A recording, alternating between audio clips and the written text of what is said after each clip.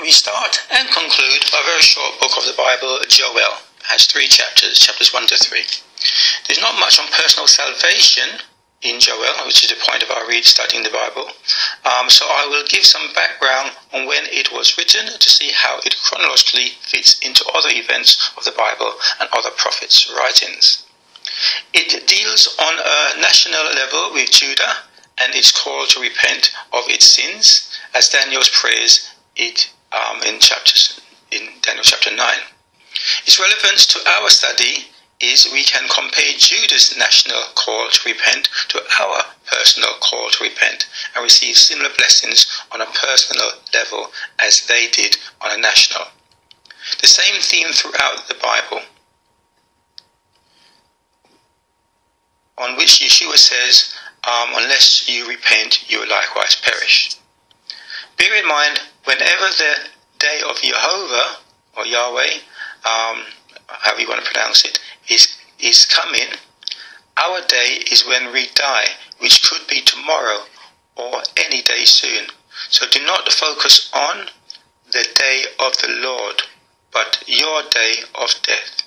Some people keep thinking the day of the Lord is in the future and forget that day day may come at any point now.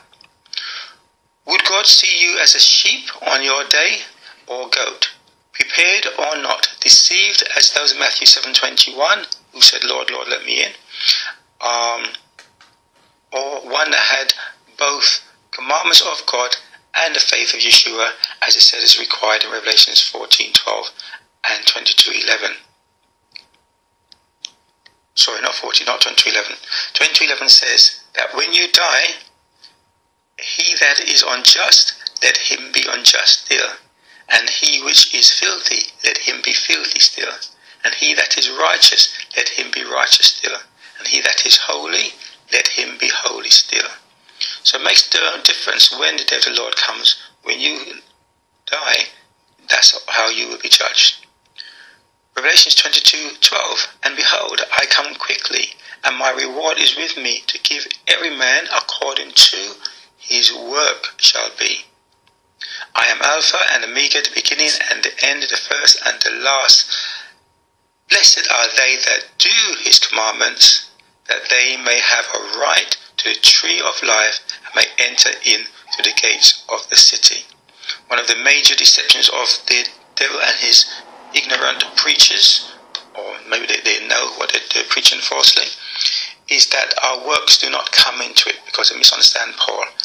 Throughout the Bible, and even towards the end, it says you're judged according to your works, and those who do, which means an action, your work, will, um, his commandments, have a right into the tree of life. Okay, the name Joel means Jehovah is God. Joel prophesied against the southern kingdom of Judah to return to God before even greater discipline and judgment befell them. The contents of the book indicate that it was written fairly early in the reign of Joash, 835 to 796 BC.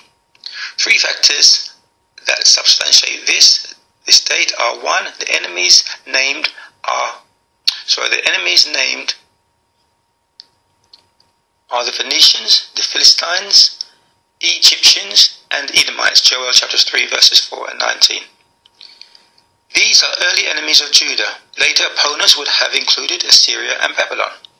Two, the position of the book in the collection of the works of the prophets indicates that the Jews considered it the oldest book addressed to Judah. And three, there is no mention of a reigning king, and an emphasis on elders as priests is given. Joel chapters 1 verse 1, 9, 13, 14, and chapter 2 verse 16. Uh, which would be appropriate for Joash, since he was crowned whilst still a very young boy and was under the guardianship of the high priest Jehoiada. See 2 Kings chapters 11 verses 1 to 21 and chapters and 2 Chronicles chapters 22 10 to 23 15. The prophecies of this book can be divided into four sections. One, a prophetic type of the day of the Lord, Joel chapters 1, verses 1 to 20. Two, the direct prophecy of the day of Yahweh himself or itself, um, Joel chapter 2, verse 1 to 32. Some people think the day of the Lord is a good thing. Um, no, the day of the Lord is actually a bad thing. The wrath, judgment. Three, the prophecy of the judgment of, nations. This is mentioned in Joel chapter 3, verses 1 to 17. And fourthly, a prophecy of the full kingdom blessings of Israel. Joel chapter 3, verses 18 to 21, which is always God concludes in most of his prophecies about um, the final position of the 12 tribes of Israel. An important theme addressed within the book of Joel is that Jehovah is the God of life. God was in control over the people's economic situation, Joel chapters 1 verse 4 to 12, and their armies, Joel chapters 2 verse 1 to 11. He alone could grant mercy to them, Joel chapters 2 verses 12 to 17. Okay, a few verses of Joel chapters 1. The word of Yahweh came to Joel the son of Pethiel, of, of Pethiel. Hear this, ye old men, and give ear, all you inhabitants of the land. Hath this been in your days, or even in the days of your fathers? Tell you your children of it, and let your children tell their children, their children another generation. Verse 6 For a nation is come up upon my land, strong and without number, whose teeth are the teeth of a lion, and he hath the cheek teeth of a great lion. He hath laid my vine waste, and barked my fig tree. He hath made it clean bare, and cast it away.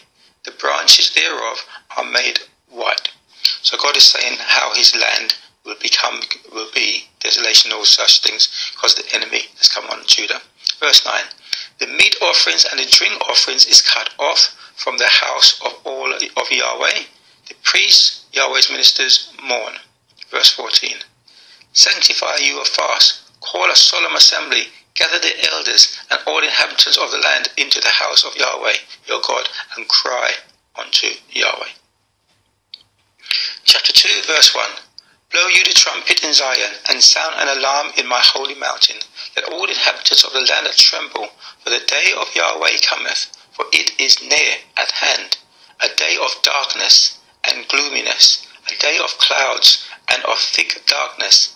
As the morning spread upon the mountains, a great people and a strong, there hath not been ever the like, neither shall be any more after it, even to the years of many generations. Verse 12. Therefore, also now, saith Yahweh, turn you even to me with all your heart, and with fasting, and with weeping, and with mourning, and rend your heart and not your garments, and turn unto Yahweh your God, for he is gracious and merciful, slow to anger, and of great kindness, and repenteth him of the evil. Who knoweth if he will return and repent and leave a blessing behind him, even a meat offering and a drink offering unto Yahweh your God? My comment Some people use chapter 2, verse 13, rend your heart and not your garments, as indication not to keep God's commandments. They interpret it as God wanting us to offer our hearts and not our actions. That is wrong. The word is rend, not render. Rend is to tear. Render is to offer or give. In verse 12, it says also, it says also, meaning something in addition. It should be clear God wanted them to stop sinning, repent, and return to keeping His commandments. Then also to rend which means tear or destroy, the attitude in their hearts rather than the garments, and replace it with a return to God, a heart that loves God. We know from previous studies of John's writings to love God is to keep his commandments. And I say previous, for those in um, the New Testament which we haven't got there yet, I have mentioned John in past studies. Joel chapter 2 verse 25. And I will restore to you the years that the locusts have eaten, the cankerworm, and the caterpillar, and the palm, palmer, palmer worm, my great army which I sent among you. And you shall eat in plenty and be satisfied, and praise the name of Yahweh your God, and have dealt, dealt sorry, and and praise the name of Yahweh your God, that have dealt wondrously with you. And my people shall never be ashamed. And you shall know that I am in the midst of Israel, and that I am Yahweh your God, and none else, and my people shall never be ashamed. My, my comment As God said in Deuteronomy 29, obedience brings or restores blessings. And note God says, and I will. He first tells them to keep his commandments and render their heart, their hearts and not their garments, and then he says, and I will, meaning it's a condition of getting um, his blessings. Some people like to claim all the things that the cankerworm has taken away, that God bring it back to them without seeing it is always conditional. Lastly, of verse chapter 2, verse 27, and you shall know that I am in the midst of Israel, and that I am Yahweh your God, and none else, and my people shall never be ashamed. And it shall come to pass afterward that I will pour out my spirit upon all flesh, and your sons and your daughters shall prophesy. Your old men shall dream dreams, and your young men shall see visions. Notice God is talking to the tribes of Israel. He starts this verse 27 saying, after he says all the things that they're to do, he says, And you shall know that I am Yahweh in the midst of Israel. And then comes, and I'll pour out my spirit upon so forth. So it's all conditional on them doing something, and this, and then he'll do his bit. And this condition is given to Israel your sons and your daughters. Christians and others who do not keep those commands cannot read themselves into it. Clearly, God was speaking to Israel, of whom Judah and Joel were. So your sons relate to them, not every human. All flesh does not mean anything with flesh as animals. When Peter, when Peter mentioned this in Acts chapter 2, he was speaking to those Jews coming to keeping the feast of Pentecost. Many Christians wrongly use this to claim things, i.e., tongues, speaking in tongues, that was not for them and not for every future period after Acts 2. I remind you in Acts 2 or nowhere else was a human interpreter or translator used in the speaking of tongues between Peter and the hearers. To also see to whom God was speaking, see Isaiah chapters 44 now, to also understand this prophecy of Joel that ended up in Acts chapter 2, um, see also Isaiah chapters 44, verse 3, Ezekiel chapters 39, verse 29, and Zechariah chapters 12, verse 10. I was going to say, to understand who got the gift of speaking in tongues, as mentioned in book of Acts, um, chapter 2, in fulfillment of the prophecies to Israel, See our study titled Acts 1 and 2 Holy Spirit and Tongues on www.forwardtoyahweh.com. It will show you that not everyone got the gift of speaking in tongues. In fact, only a limited number of people. There were speakers and there were hearers. And everyone else but the speakers were hearers. My point being, this um, spirit falling day Pentecost is only to Israel and was for a, pro- a prophesied purpose. Um, was spreading his message, not for Pentecostal or other religions to, to claim it 100 or 120 so years ago as a gift for today.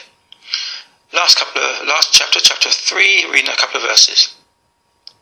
Verse 6 The children also of Judah and the children of Jerusalem have you sold unto the Grecians, that ye might remove them far from their border.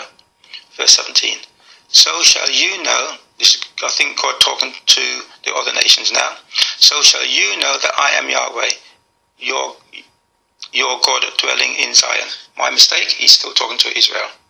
My holy mountain, then shall Jerusalem be holy, and there shall no strangers pass through her any more. And it shall come to pass in that day that the mountains shall drop down new wine, and the hills shall flow with milk, and all the rivers of Judah shall flow with waters, and a fountain shall come forth of the house of Yahweh, and shall water the valley of Shittim. For I will cleanse their blood that I have not cleansed, for Yahweh dwelleth in Zion. Shalom until tomorrow. Happy studies.